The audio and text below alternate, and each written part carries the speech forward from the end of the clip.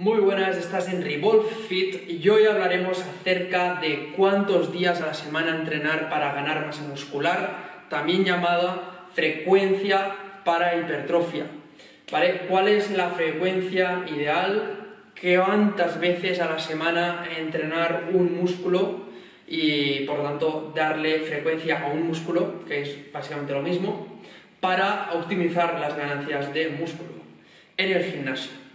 Bueno, vamos a intentar organizar este vídeo de forma que se entienda muy bien, sin enrollarnos mucho, preguntando cosas muy interesantes, así que quédate hasta el final. Vamos primero desde un punto de vista general. Según la ciencia, últimamente se ha visto que para personas naturales que tienen una capacidad de recuperación limitada, puede ser interesante no hacer todo el volumen, es decir, toda la cantidad y esfuerzo de entrenamiento de un músculo en un mismo día, sino que repartirlo un poco entre semana, por ejemplo, en dos veces. Todo el volumen y toda la cantidad y esfuerzo que meterías a un músculo, hacerlo en dos días diferentes a la semana, partirlo en dos básicamente, que sería frecuencia 2. Frecuencia 2 es, en muchos casos, una frecuencia que suele ser bastante óptima y que en general se adapta bastante bien a la mayoría de la población, dejando unos 3 o 4 días entre sesiones eh, o esfuerzos para un mismo grupo muscular.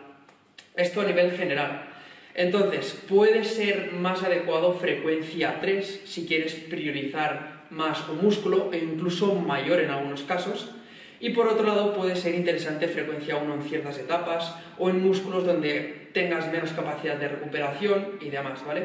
Esto no es algo cerrado y depende muchísimo de la persona, depende muchísimo del contexto y, priorizaciones que se hagan, pero a rasgos generales una frecuencia entre 1 y 3 suele ser lo adecuado, siendo 2 lo mm, más óptimo en la mayoría de casos.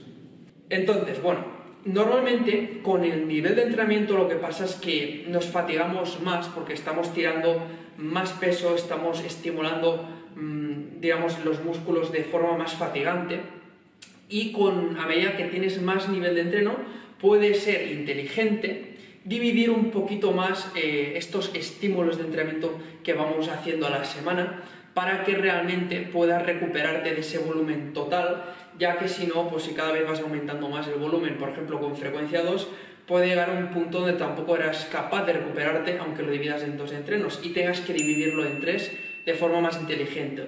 Eso también, como digo, dependerá muchísimo de la persona. A veces, pues para unas personas será mejor hacer entrenamientos más largos y por otros dividirlo, por otros y para otras personas dividirlo más. Luego, cosas que hay que tener en cuenta a la hora de determinar cuántas veces a la semana vamos a atacar, a darle caña a un músculo. Eh, una cosa muy relevante es eh, la concurrencia, el entrenamiento concurrente. Eh, ¿Qué pasa? Que si tú, aparte de ir al gimnasio, vas a correr, vas a tener en cuenta que eh, a la hora de entrenar pierna esto es algo que te va a afectar, por lo tanto igual no puedes hacer frecuencia 3 de pierna y a la vez frecuencia 3 de correr, porque en ambas vas a estar afectado por, la, por la otra, ¿vale? Entonces ahí tendrías que priorizar una de las dos y bajarle la frecuencia en una de las dos. Pues lo mismo va a pasar en muchos otros casos que incluso a veces se pueden solapar con cosas como el propio trabajo físico y demás, ¿vale? Así que hay que tenerlo en cuenta.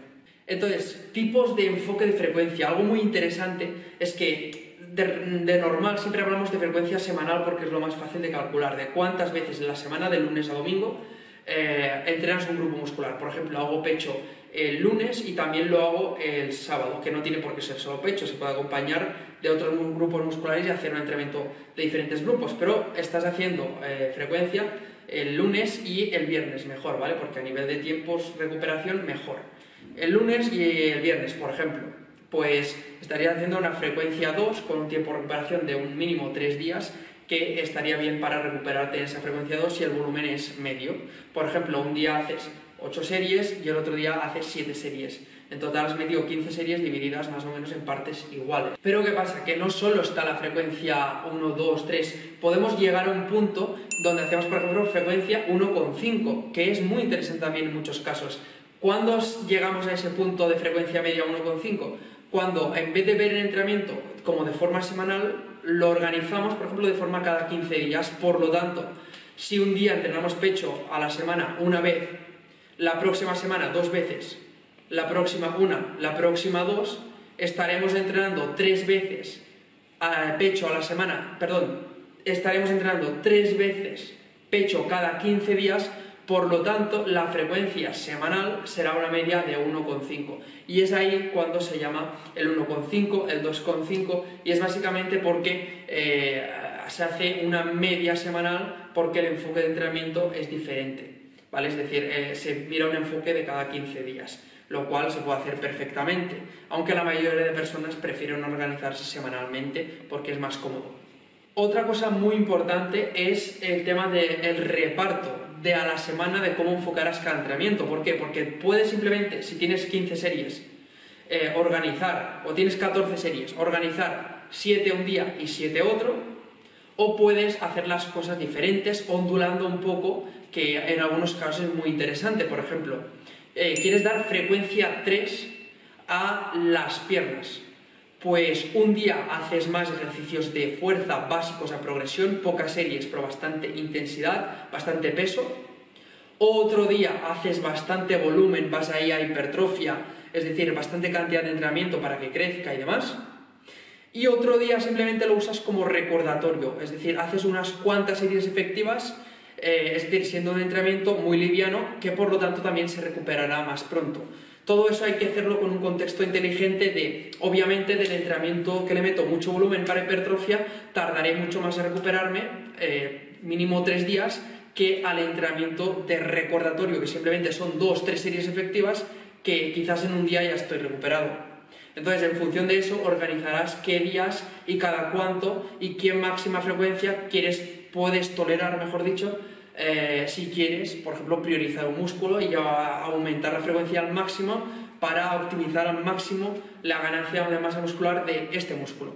Y obviamente, relacionado a eso, habrá que haber priorizaciones. Si tú quieres maximizar a tope la frecuencia para que quepa el máximo volumen de entrenamiento total y puedas recuperarlo, subir y recuperarlo el máximo veces posible al mes o a la semana, lo que va a pasar es que probablemente otros músculos se vean desplazados y tengan que bajar, por ejemplo, a frecuencia 1, si quieres aumentar algunos a frecuencia 3 o incluso a frecuencia 4, porque obviamente tampoco somos superhéroes y no podemos tolerar todo a frecuencia 4 y sería imposible en muchas ocasiones a nivel incluso de tiempos, ¿vale? Así que la frecuencia estará muy atada a nivel de priorización, pero en general, en la mayoría de personas, una frecuencia 2 será óptima en muchos casos pero es muy interesante variar esa frecuencia en función de priorizaciones y etapas. Así que bueno, básicamente este ha sido un poco todo el vídeo. Deja dudas en los comentarios si las tienes. Nos vemos en el próximo vídeo, dale un like si te ha servido mínimamente y hasta el próximo vídeo de Revolve Fit. Un saludo.